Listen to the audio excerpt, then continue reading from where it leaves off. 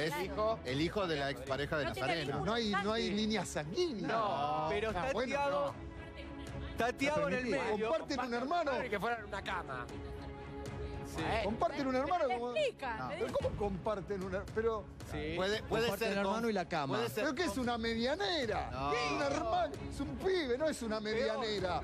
Compartimos una medianera. y- Compartir una medianera no te hace amigo tampoco. Pero puede ser confuso para Tiago, chiquitito, pensar que la hermana sale con el hermano, Pero con tíos en realidad. papá y mamá. Puede ser Tiago confuso ahora. para el nene. Estamos Pare- seguros. Esa, es bien, bien calabró trayendo cordura acá. Estamos seguros. ¿Estamos de seguros de esto? Nunca Ba- estamos Bar- seguros. Barbie dejó la puerta abierta, no quiso decir quién era el novio, ahora nosotros empezamos a ¿Qué? hablar. Este, este pibe quién es? Porque dicen que es un modelo. ¿Este quién es?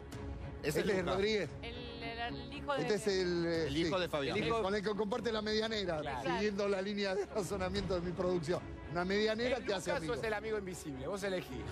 El novio de Barbie Vélez. ¿Es Lucas o es el amigo invisible? Me inclino por la segunda, Payare. Yo estoy más por el lado del amigo invisible Sí, también. eh, pero no quiero- se olviden que en el verano ya había pasado algo, Sí. que Federico Val en Villa Carlos Paz Sí. había visto algo que no le gustó entre Barbie y Lucas y se enojaron. La Federico Val quiere ver donde no hay. Él quería justificar que andaba con Marcasoli y le buscó la vuelta a los Sí, pero el tiempo le da la razón ahora. Igual quiero decir algo. La frase, vio algo que no me gustó, la, la escuché con el Lole Reutemann cuando se cagó y se bajó de ser candidato a presidente.